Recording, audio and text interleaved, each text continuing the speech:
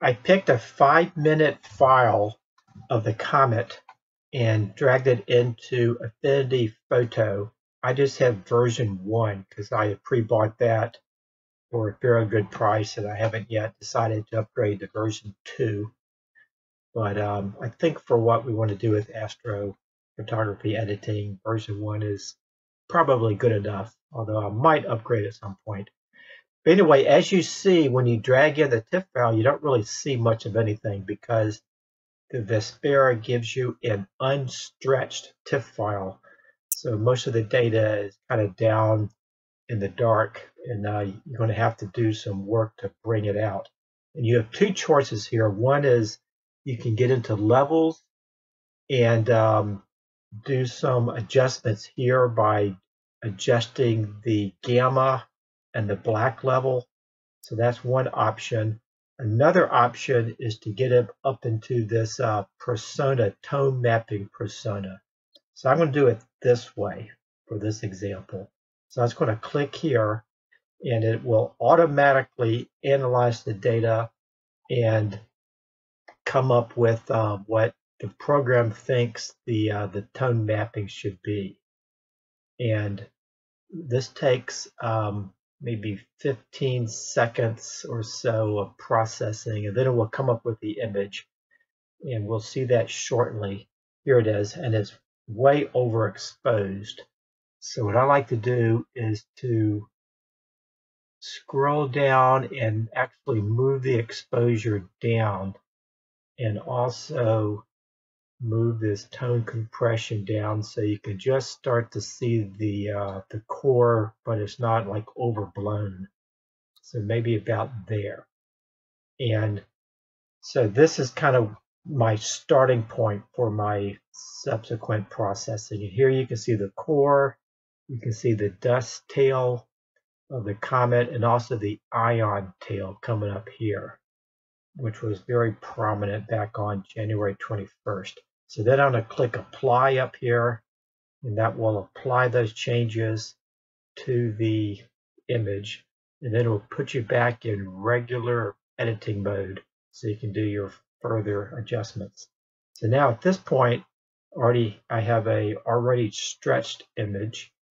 If I click levels and click default I could you can see there's a little bit of opportunity to play around the black level and maybe play some more with the gamma. Although I'm not going to do that here. I'm going to instead just go directly down to curves and do my work here. Although you could play around the levels some. But with curves, you can get a more dramatic contrast differences. I like to open up curves and click on this picker button and now you can click inside the photograph and while you left press the mouse, you can drag down or up and that will move a particular location on the histogram up or down. So what I like to do is to pick a part of the image, like maybe in this ion tail, just kind of right in here and just move it up a smidge. So that will make that part brighter. And then take something else that's dark in the image where I want to make it darker. And I'm going to pick somewhere else and drag it down. So you can see if you do this, it's increasing the contrast. And I, if you increase it too much, it'll blow out the, the core. So I'm going to actually pick this, this second dot on the right and lower it just a little bit.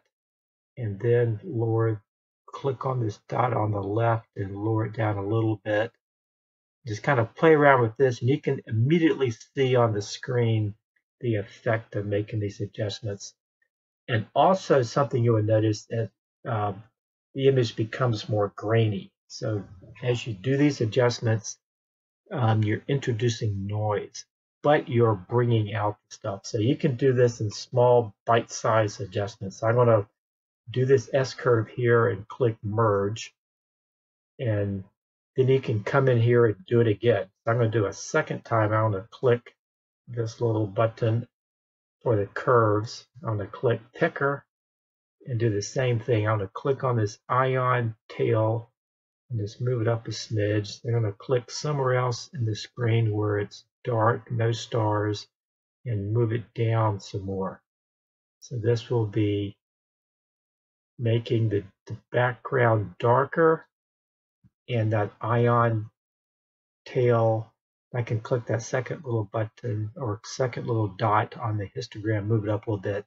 So here I'm making that ion tail more pronounced and the background darker. Now you don't want to overdo this and make the background like totally black.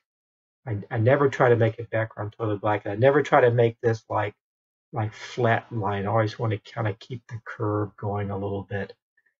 And so here, I'm going to leave it here. So here, there's still some, you can see the anti-tail, the comet here. You can see the ion tails looking fairly good. The core is not blown out. And I'm going to click merge. So I'm pretty happy with just that. But it's pretty grainy.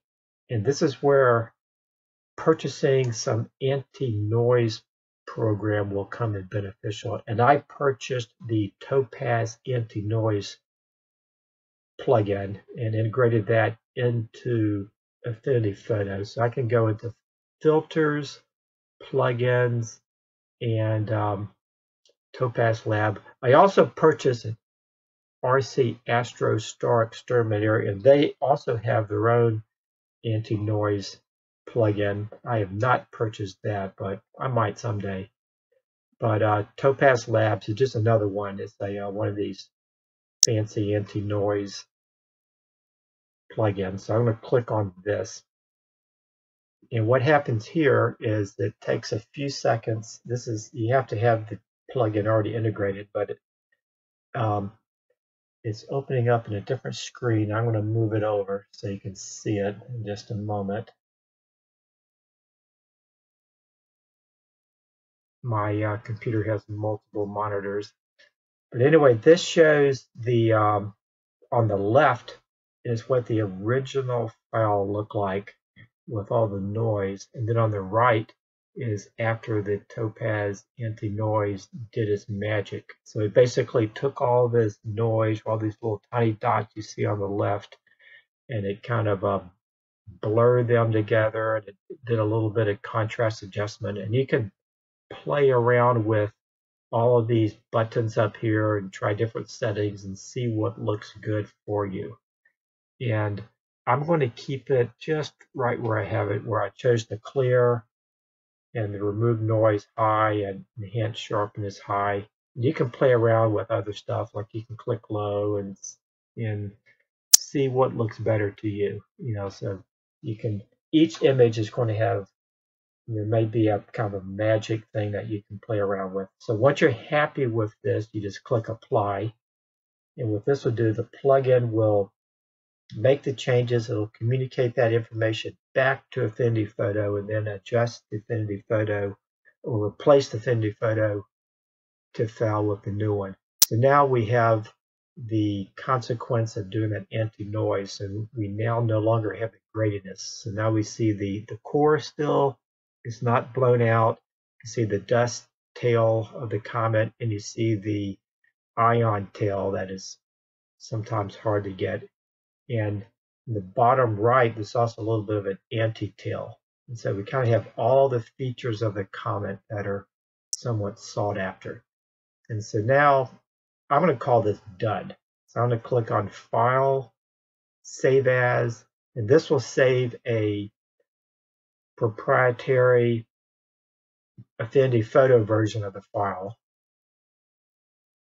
And I was going to say that so we can come back to this later on if we want to further edit it. But for sharing the photo with other people, you typically want a JPEG. So then I would go into File, Export, and that brings up the J the export file selection. So I'm going to choose JPEG, and then you can for the uh, you can choose best quality, high quality, medium for whatever kind of file size you want. And this, I'm going to choose high quality because that does some compression, so it reduces the file size some, but it doesn't deteriorate the image too much. And you can see here the estimated file size is 158 kilobytes. So that's a reasonable size. For example, you could share it on cloudy nights in the forums without them downsampling it.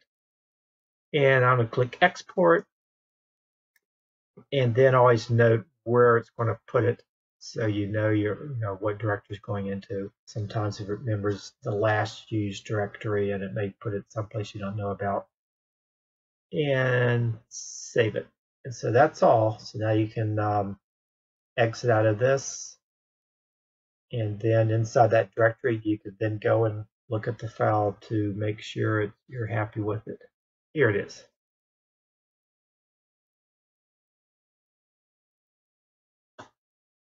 So here's the JPEG I just got. So this is what would be appropriate to share share with people. And the background is not totally black, but I like this because if you made it totally black, it would reduce some of the uh, some of the subtleties here. So I like to keep the background not quite totally black, but close to black, but not quite. And so here we have a nice ion tail, dust tail, and anti-tail in the core. And the core is, because this was only a five minute exposure, it's not all elongated. Some people post images where they take an hour or two hours and you get this big, long um, thing stretching across the screen. And and some people think, well, that looks like a comet, but that's just the core just being, uh, you know, moving across the sky for uh, two hours. And if you want to accurately capture what the comet actually looks like, then you have to either do a short exposure like this and do the best you can to post processing, or you could turn on the TIFFs and grab all those TIFF files, which are individually short exposure unstacked, and then run them into some third party stacking program that can stack on the comet and not the stars. And that gets kind of complicated. But uh, so this is a more simple process of just choosing a making a short exposure, and then doing the best you can with the already stacked TIFF file from the Vespera.